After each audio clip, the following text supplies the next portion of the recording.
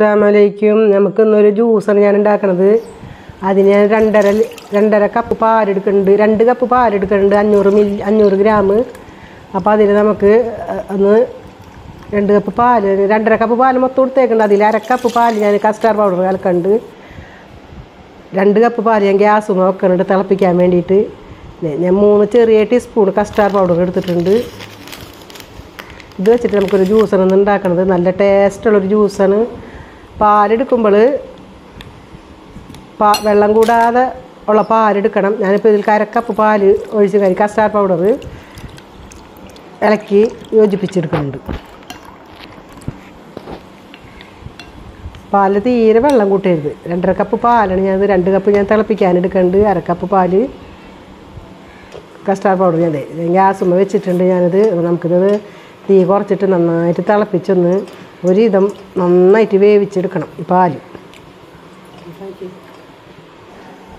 അപ്പോൾ ഞാനതിൽക്കൊരു ഞാലിപ്പൂവൻ പഴം ഒന്ന് നുറുക്കിയിടാൻ വേണ്ടി ആയിട്ട് ലാസ്റ്റ് നുറുക്കിയിടാൻ വേണ്ടി ഞാൻ അരി അരിഞ്ഞെടുക്കുന്നുണ്ട് അല്ലേ ഞാൻ ആവശ്യത്തിന് പഞ്ചസാര ഇടുന്നുണ്ട് ഞാൻ അധികം പഞ്ചസാര ഇടുന്നില്ല ആവശ്യമുള്ളവർക്ക് പാൽ കൂട്ടി കൊടുക്കുക പഞ്ചസാരയും കസ്റ്റാർഡ് പൗഡറും ഒക്കെ കൂട്ടി യോജിപ്പിച്ച് കൂടുതൽ എടുക്കുക.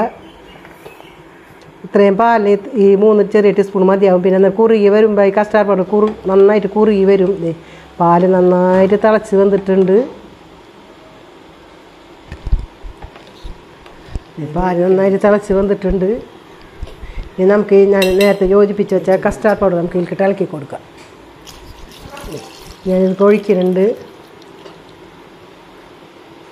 അതെ നന്നായിട്ട് ഇങ്ങനെ പതുക്കെ ഇത് ഒന്ന് തിളച്ചൊന്ന് കുറുകിയാൽ മതി. അല്ലെങ്കിൽ നന്നായിട്ട് ഇത് കട്ട പിടിച്ച് പോകും. അപ്പോൾ ആവശ്യത്തിനൊന്ന് തിളച്ച് റെഡിയാകുമ്പോൾ നമുക്ക് ഗ്യാസ് ഓഫാക്കാം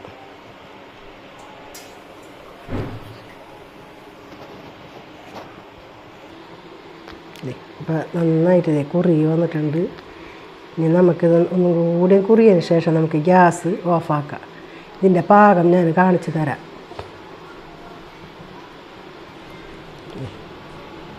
നമുക്കൊരു ടീസ്പൂൺ കൊണ്ട് കോരി നോക്കാം. കറക്റ്റ് പാകം നമുക്കിതിൽ കാണാം. ചെറിയ തീരണി ആയിട്ട് തിളപ്പിക്കണത് ഇപ്പോൾ അതെ നന്നായിട്ട് തിളച്ചിട്ടുണ്ട്. മതി ഇത്രയും മതിയാവും. ഇതിപ്പോൾ റെഡി ആയിട്ടുണ്ട്. ഇതാണ് ഇതിന്റെ പാകം. ഇത്രയും വെറുതെ ഇനി ഇതിൽ നിന്ന് വരെ ഒന്ന് കുറിയങ്ങായിട്ട് ഇനി ഇതൊന്നും കൂടി ഡേറ്റ് ആവും. അപ്പോൾ ഇതാണ് ഇതിന്റെ പാകം. നല്ലൊരു ടേസ്റ്റുള്ളൊരു ജ്യൂസാണ് അപ്പോൾ അല്ലേ അതുപോലൊക്കെ ചെയ്യുക ഇനി ഞാൻ ഇത് ചൂടാറിയിട്ടുണ്ട്.